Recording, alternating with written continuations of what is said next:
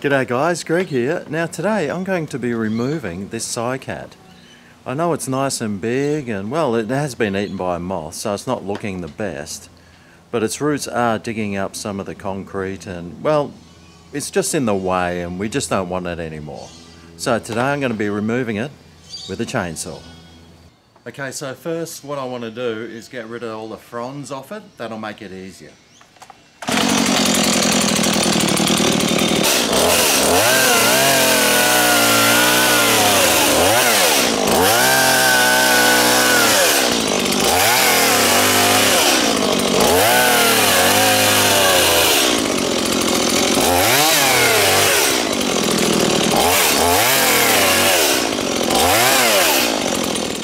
Alright, so now we just want to get rid of all these little bits down here and it actually has some pups growing here and over here, so, oh, and here.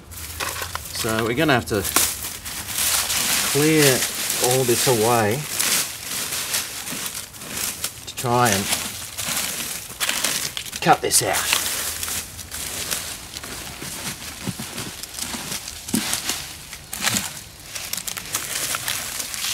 Just want to clear some of the extra dirt and stuff away so the blade doesn't get too damaged.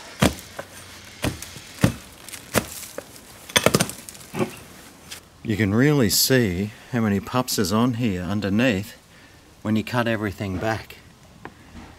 You must have five of them there. Anyway, we want to get rid of them all. Down and then come back across.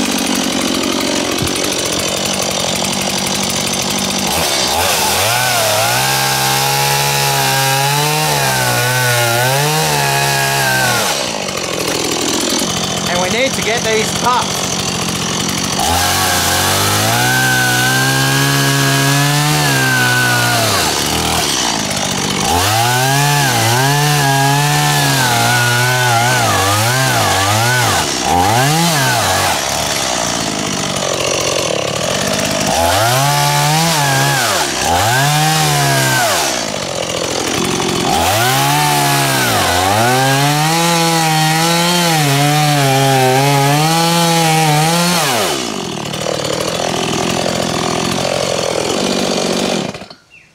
Sweet ass. Trim these roots off. So I don't want it to grow back. Unfortunately. And now, well I've got a mattock here, I'll just make sure, oh look at that, that this is not coming back.